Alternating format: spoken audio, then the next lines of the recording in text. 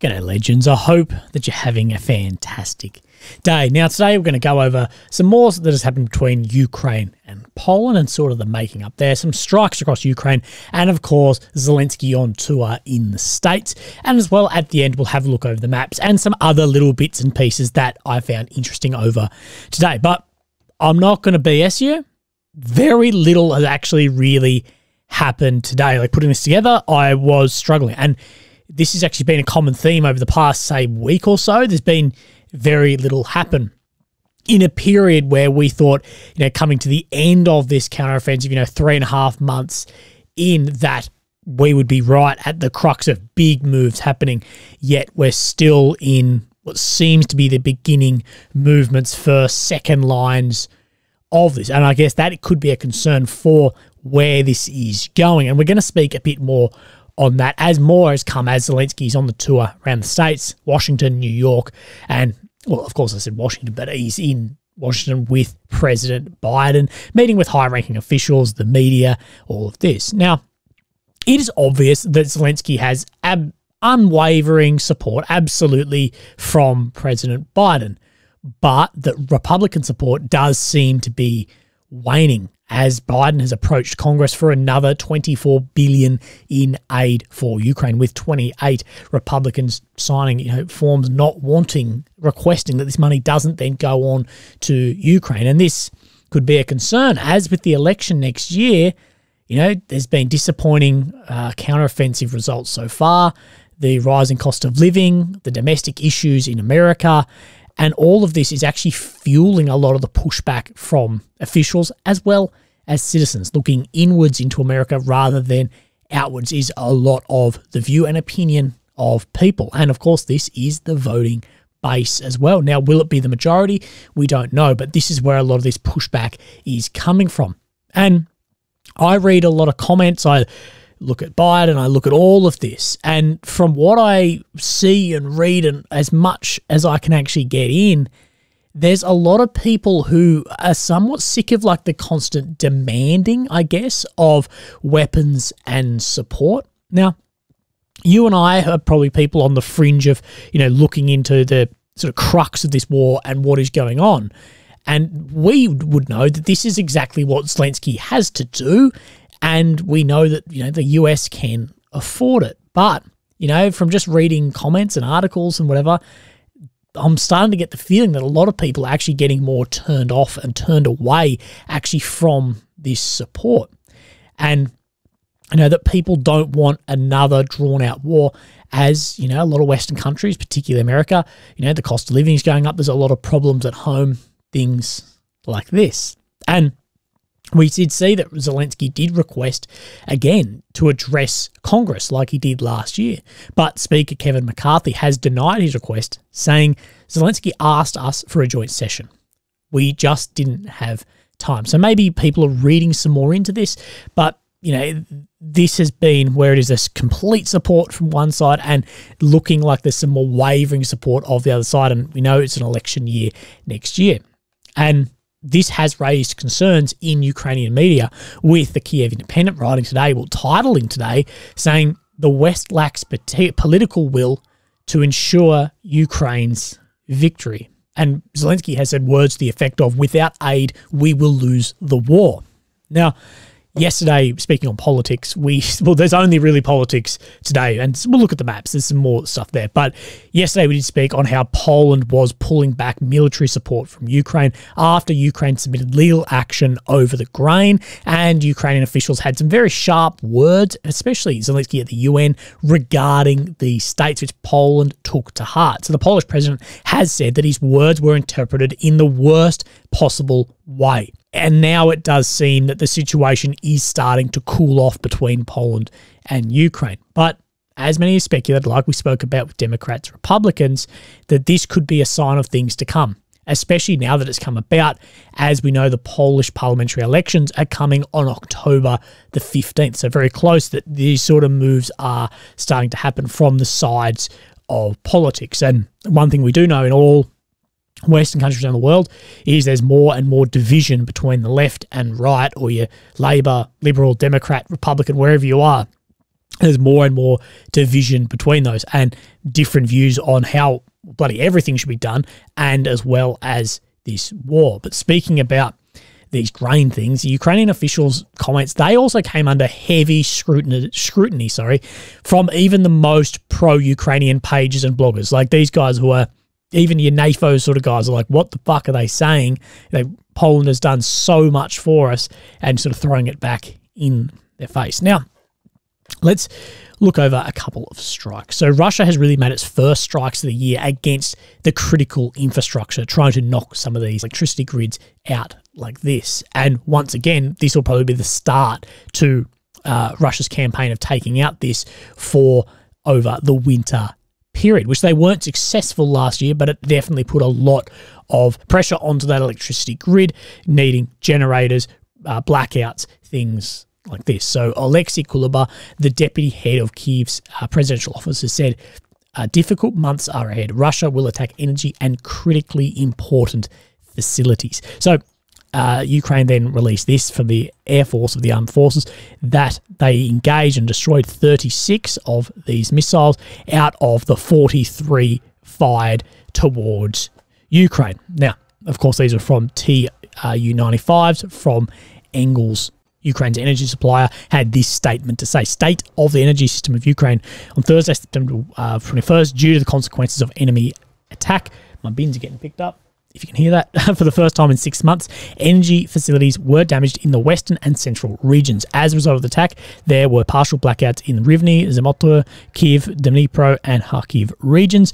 Due to hostilities and other reasons, 398 settlements remain without electricity electricity. Another thing that I actually wanted to have a look over too was this exchange I saw just between like two large like bloggers on Twitter. But I think there's some good points in this. So this bloke here says, imagine if Russia does a 300,000 mobilization, can't feed, can't arm, can't provide them vehicle, can't clothe, uh, who will train them, last group mobilized, blah, blah, blah.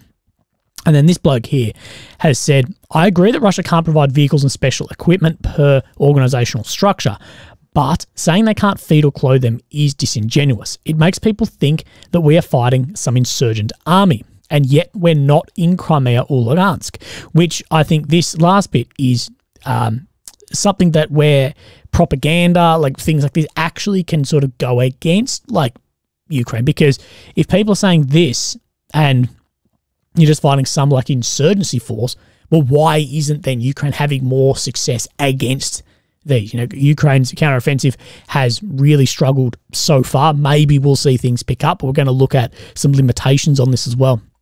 Like here saying we're not in Crimea or Lugansk. And this bloke is an officer in the reserves of Ukraine. Well, I just thought that was interesting. Now, going along uh, with weapons, things going in. Multiple outlets have again reported that the American Abrams tanks will be soon delivered to Ukraine quoting Biden saying next week the first US Abrams tanks will be delivered in Ukraine. So this is a long awaited armoured asset and was really the fulcrum for a lot of further support for Ukraine once the tanks got approved, which weren't ever going to get approved in the start. Then we had more weapons and stuff go in. But these have faced multiple delays and they are arriving right at the end of the counteroffensive. Like with all these weapon systems, just from when we know they arrive in country, time to the front line seems to be a long time. So we're going to have a look over the maps. And as well, what I want to do is actually have a look at the weather too. So we're getting to, you know, mid late September now. So the 21st, uh, 22nd.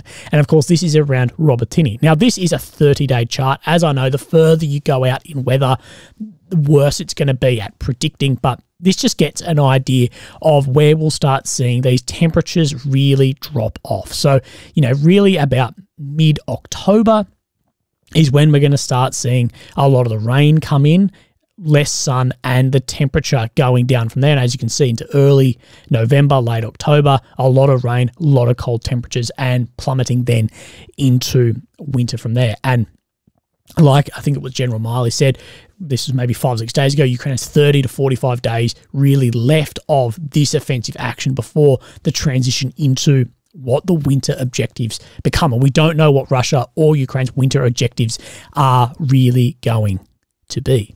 So we do have some interesting updates, I guess, on the maps with the first real armored vehicle seen uh, breaking at least through the Surovikin line near Verbove as well. So let's actually have a look at where this is, where the geolocations are, all of this. So, of course, we have Ukraine, the capital of Kiev. Red areas occupied since 22 and the purple since 14. So where we're talking is Robotyne front near Verbove here. Now, we're just going to go over this map a little bit because we do see there was really not much change, but we hadn't had any change for a few days.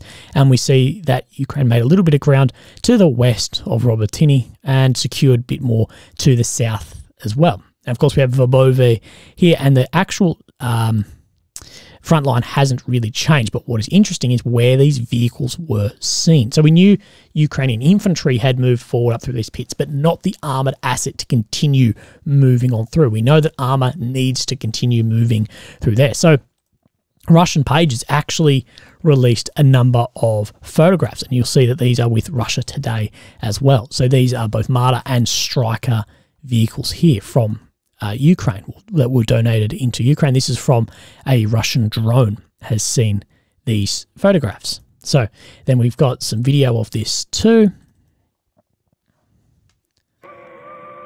So FPV drones flying around, you can see the shelling, you can see the pock mark of the ground of how much shelling's going on, and these vehicles then here. Now, of course, where that has been geolocated to, well, let's just watch a little bit more of this too. So these vehicles and getting struck as well.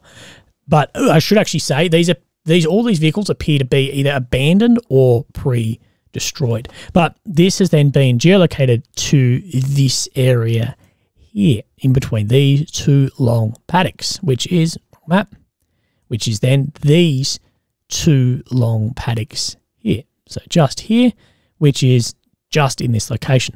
So has come through a lot of the um, tank traps, uh, the um, tank ditches right up onto then, I guess, this second line of defense, proving further that the armor is actually coming through rather than just the infantry there, but under heavy shelling. We know in these trench systems, there's still a hell of a lot of fighting, especially this second line with the VDV that has come down from Bakhmut pushing in on to Ukraine there. There's been a number of raids back and forward in the last couple of days to in that location. But that is interesting to see that there are a step up of armored asset there too. And then this is what then uh, the ISW released that this, of course, dark blue is the ground made of the last couple of days. Here, now this shows similar-ish to then what the deep state is actually showing of this cut in and not all of this.